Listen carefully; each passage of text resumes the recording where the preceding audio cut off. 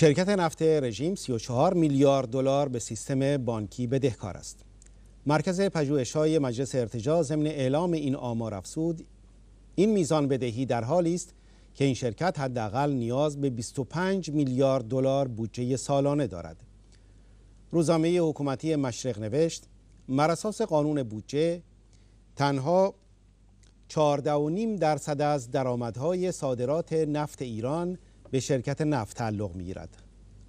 آمارهای بین‌المللی حاکی است که صادرات نفت ایران به چین در دو ماه ابتدایی سال حدود 70 هزار بشکه در روز بوده و بیش از این مقدار نفت نیز راهی سوریه شده است. اگر این میزان صادرات ادامه یابد ارزش سالانه آن با توجه به قیمت‌های پایین نفت به دو میلیارد دلار نیز نمی رسد و تنها بخش کوچکی از آن سهم شرکت ملی نفت است.